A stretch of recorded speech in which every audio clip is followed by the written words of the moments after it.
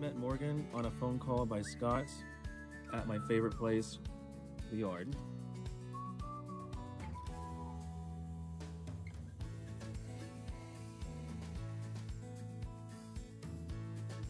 My first impression of Morgan was the way that she's not afraid to speak her mind.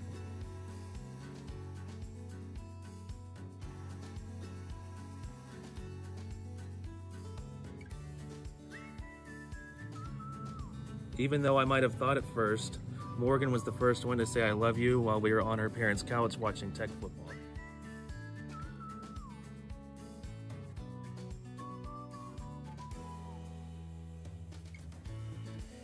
When I think I'm in trouble, I order Morgan some Crumbl cookie to wherever she is.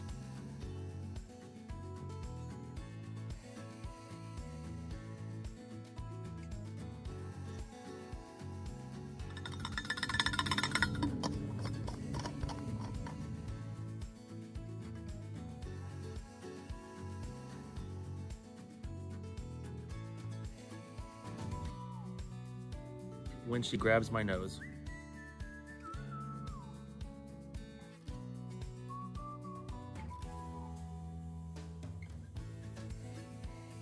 Morgan cannot live without her Kindle.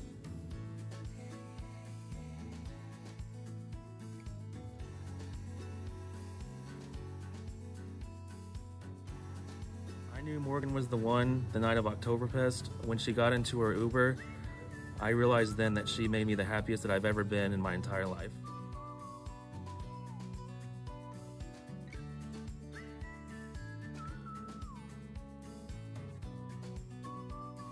My favorite memory with Morgan is April 6, 2023, when she said yes in downtown McKinney.